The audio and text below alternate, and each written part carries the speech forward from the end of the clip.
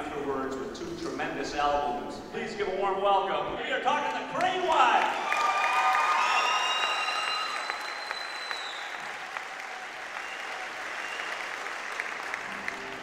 This is kind of fun for us to, uh, I want to say strip down, but that just sounds really bad. so what we're about to do, you know, no, it's really fun for us to be in more of an acoustic setting because that's kind of where this band started. And we're not used to playing for Grand Rapids when it's not in a bar and really noisy. Not that we don't love playing bars, we love it. It's just, you feel really exposed when people are actually listening to you.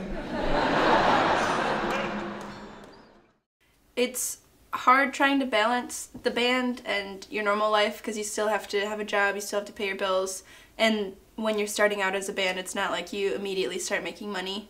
And so I think that's one of our biggest struggles because we're constantly battling um, the real world, but it's really risky in the beginning, and you have to kind of decide when you're going to take that leap very carefully. um, so we're just trying to navigate through that and and find a settling place. But I think um, really this is just what we all want to do. It's our dream. It sounds silly that it's hard to find the time to practice once a week, but it's been crazy busy recently. So it's sometimes hard to find the time, but yeah. Shows are like practice.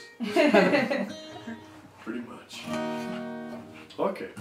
At the beginning, there was no goal. It was just like, let's get together and make a song. And then after that, it was like, oh my god, we could totally play a show. What would that be like? And yeah, our first gig was at a place called The Mixtape. And it was about like, th- what, three weeks after we started playing together. Uh, I'd, I'd been playing the banjo for like two weeks, and we had a gig already. So I was sitting down with all of the chord diagrams and all the chords for every song we were playing written out on the floor in front of me, and uh, yeah. Yeah, I- I just remember Tom. He claimed to be really excited, but he kept he kept saying, "I'm so excited." And it was just uh, Dan, myself, Emily, and Tom at the time I because we there. hadn't added Zito yet, and uh, we just made fun of Tom the whole rest of the night because he was so excited. Won't it be so cool when we have merch? Since this feels like a very special show to us, we decided we would share a brand new song with you. We've been working on this tune in my living room. The cat has been enjoying it. During practice, when we're all just talking through things, the cat is like watching, trying to figure out what's going on. And as soon as we start playing, he just squints and like meditates. we can't figure it out. He just freezes and squints.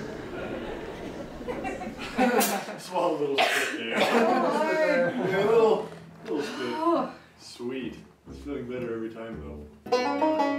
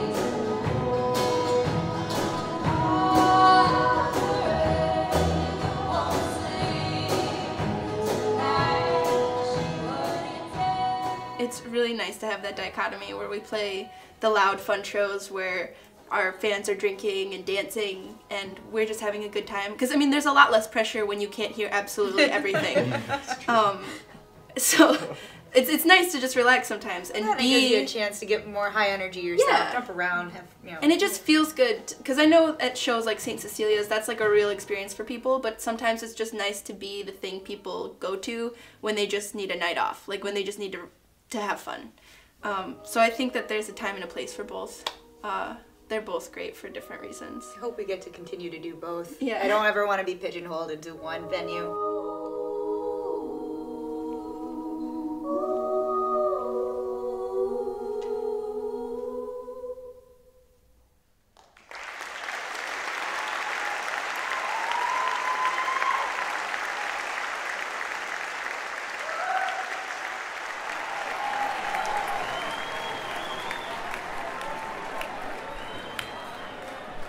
We have Kate Pillsbury on guitar and vocals.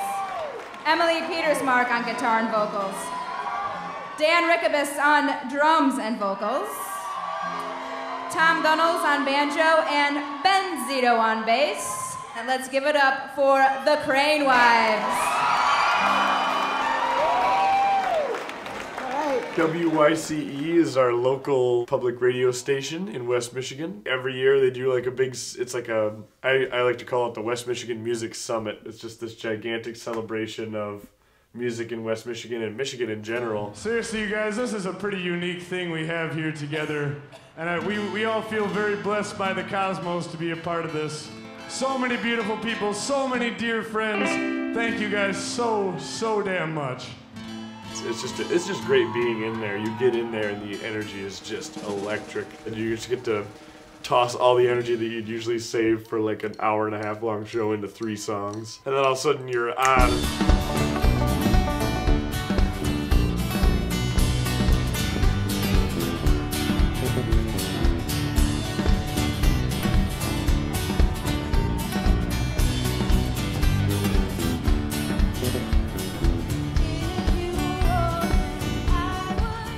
On Instagram and I saw someone uh, tagged us on it. And They were designing a Crane Wives tattoo with um, our lyrics around an anchor. It was just like this SketchUp, uh, and I think she tweeted it to us or something, which is how I first saw it. Um, And I was like, that's that's crazy. Someone is permanently wanting to put this on them as something that we made, and, and to me that was pretty incredible.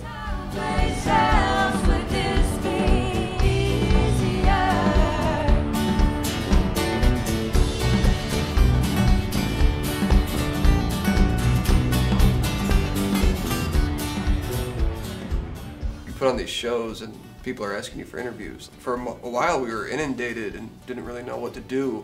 That was, that was a weird kind of, I don't know, situation to get comfortable with for me. It was uh, not being able to uh, react to support because because of time constraints. It's like that's strange.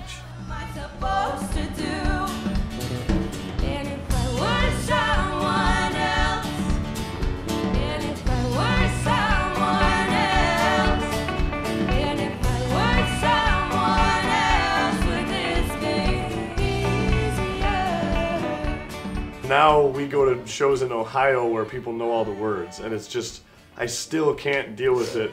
It's it's so strange to like look out and see all like there's a couple of people singing the words that you've never met in your life, and I still just like double take like what really?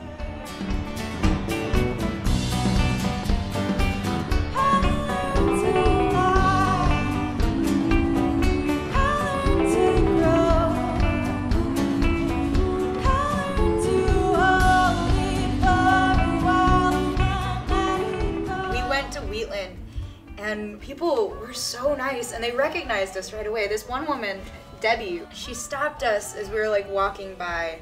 She's like, "Oh my gosh, are you guys the Crane Wives?" And we're like, "Yeah, we're the Crane Wives." And she just started to tear up. We're like, "What is happening right now?" I, all I remember what does is mean? Kate, Emily, and Debbie just embracing and all crying. And Kate's like saying, "Don't cry, you're gonna make me cry."